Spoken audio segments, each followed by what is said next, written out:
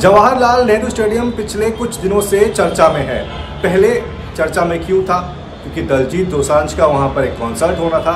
26 और 27 तारीख को दो दिन यहाँ पर दिलजीत के वो कॉन्सर्ट्स हुए तो उस वजह से चर्चा में रहा। अब 28 तारीख, यानी कि आज का दिन और भी ज़्यादा चर्चा में है, क्योंकि स्टेडियम की जो तस्वीर है, वो थोड़ी सी चौंकाने वाली है, जहाँ पर एथलीट्स ट्रेनिंग करते हैं। जो फैसिलिटी एथलीट्स को इसलिए प्रोवाइड की जाती है कि वो वहाँ पर ट्रेनिंग करें और विश्व स्तर पर भारत का झंडा बुलंद करें।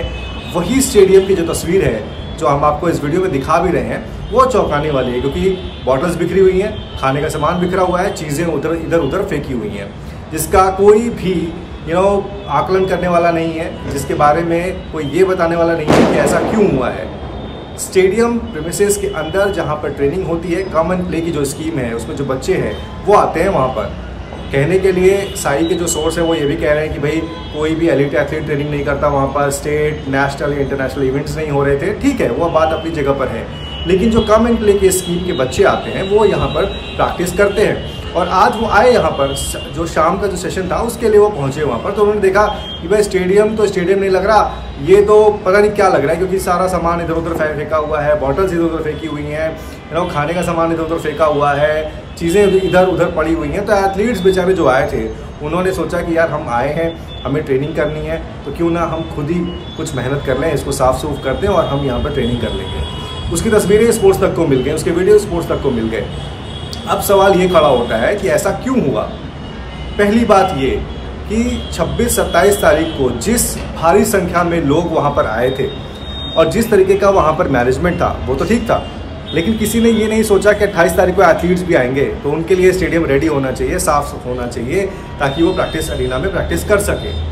अब आनंद फानंद में जब ये चीज़ें साई को पता चली तो उन्होंने सफ़ाई का कार्यक्रम जो है शुरू कर दिया। सफ़ाई हो भी रही है।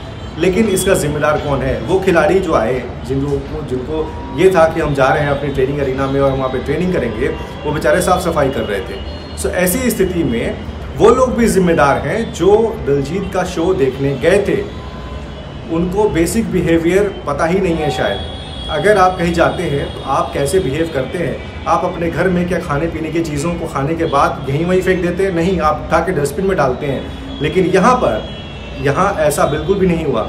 वो जो लोग आए थे, उन लोगों ने खाया, पिया और सामान वहीं इधर उधर फेंक के चले गए, जबकि स्टेडियम के अंदर में बहुत सारा डस्टबिन लगा हुआ है। अगर वो चाहते तो वो यू नो एक अच्छा बिहेवियर दिखाते हुए वो डस्टबिन का यूज़ करते और वो सारा सामान उसके अंदर में डाल सकते थे। तो स्टेडियम जिस हालत में है, जो नज़र आ रहा है, शायद वैसा नहीं होता।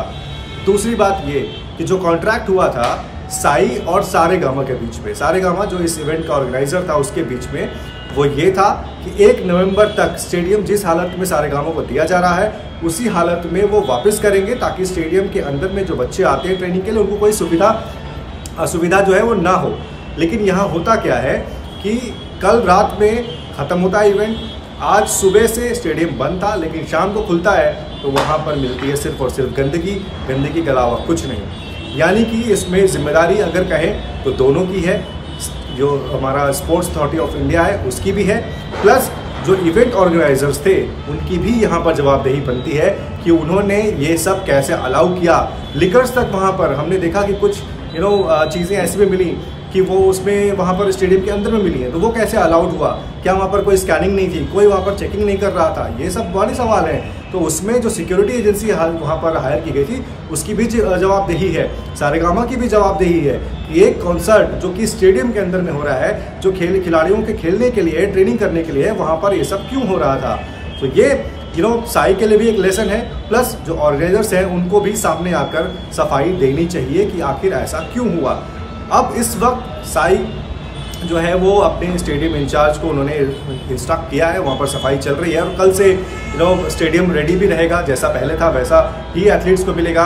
लेकिन इस तरह की चीज़ें काफ़ी चौंकाने वाली हैं। ऐसा नहीं होना चाहिए था, क्योंकि यहीं पर भले ही वो you know come and play की स्कीम है और छोटे बच्चे आते हैं ट्रेनिंग के लिए, लेकिन यहीं से खिलाड़ी तैयार होते हैं। बड़ा एथलीट कोई ऐसे रातों रात नहीं बन जाता, वो भी इसी दौर से गुजरता है। तो इस बात का ख्याल रखना चाहिए और जितने भी एथलीट्स इस वीडियो को देखेंगे, आप कल ज़रूर जाइए वहाँ पर, क्योंकि स्टेडियम कल आपको रेडी टू मूव मिलेगा। यानी कि आप वहाँ पर अपनी जितने भी मूवमेंट्स है, वो कर सकते हैं ट्रेनिंग कर सकते हैं, आपको साफ़ सफ़ाई वहाँ पर मिलेगी। लेकिन फिर भी क्वेश्चन मार्क तो लगता है। मेरे साथ जुड़िए मनाने के लिए क्रिकेट का सबसे बड़ा त्योहार। मैच से जुड़े आपके हर सवाल का हम देंगे जवाब।